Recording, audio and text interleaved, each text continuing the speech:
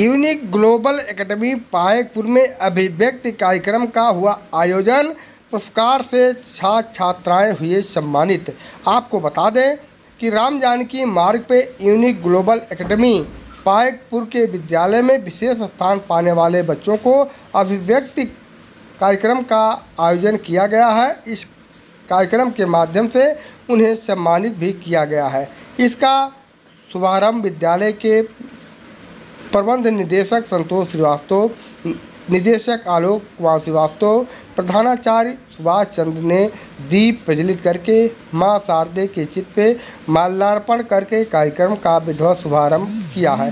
विद्यालय के छात्र अंश कुमार वरुण ने सत्तानवे दशमलव सड़सठ प्रतिशत अंक लाकर विद्यालय को टॉप किया है। बच्चों द्वारा विभिन्न प्रकार के सांस्कृतिक कार्यक्रम भी प्रस्तुत किए गए हैं। प्रत्येक कक्षा में स्थान प्राप्त करने वाले आदर्श यादव, अयांश यादव, अनन्या चतुर्वेदी, सृष्टि उपाध्याय आभास अनमोल, जानवी, अंश आदिति यादव, रजनीश, शिवम रागनी पटेल, आलोक कुमार आलोक कुमार, शुभम अग्रहरी के अलावा तमाम बच्चों ने प्रथम स्थान प्राप्त किए हैं।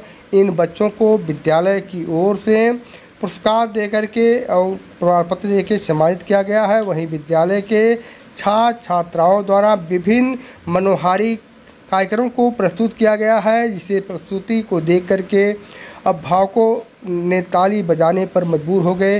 निश्चित तौर पर बच्चों का जो कार्यक्रम था, बड़ा ही अच्छा था। तस्वीरों में आप देख सकते हैं, बड़ी संख्या में छात्र एवं अभिभावक मौजूद हैं।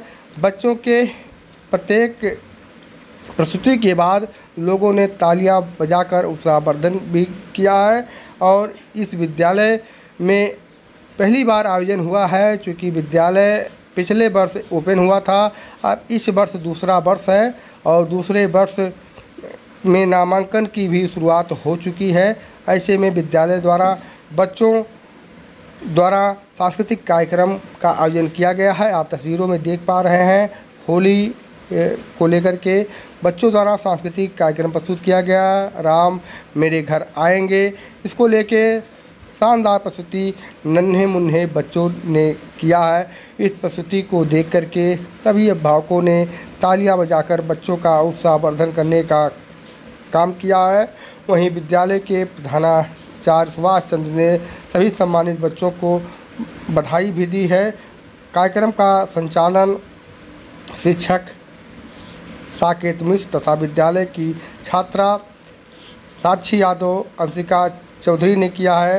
विद्यालय के परिवार का योगदान भी रहा है, ये तस्वीर आप देख पा रहे हैं। इसमें बड़ी संख्या में इलाके के सम्मानित अभिभावक भी मौजूद हैं और विद्यालय के उन्नति पर भी प्रकाश डाला गया है। विद्यालय लगातार क्षेत्र में बेहतर शिक्षा देने को लेकर के आगे बढ़ रहा है और विद्यालय में पढ़ने वाले छात्र छात्राओं को बेहतर सुविधाएँ भी दी जा रही हैं। तो ये तस्वीरें थी आज यूनिक ग्लोबल एकेडमी पायकपुर की तस्वीरें थी, जहाँ पर बड़ी संख्या में बच्चों ने अपने अपने कार्यक्रम को प्रस्तुत करके अभिभावकों का मन मोह लिया है। निश्चित तौर पर विद्यालय में लगातार छात्रों की संख्या बढ़ती ही जा रही है और ये तस्वीरें आपको बताने के लिए बहुत है कि यहाँ के जो पढ़ाई की संसाधन हैं, बड़े अच्छे संसाधन हैं और ग्रामीण क्षेत्र में अच्छे विद्यालय खुल रहे हैं। आज के लिए बस यहीं तक। नमस्कार, धन्यवाद।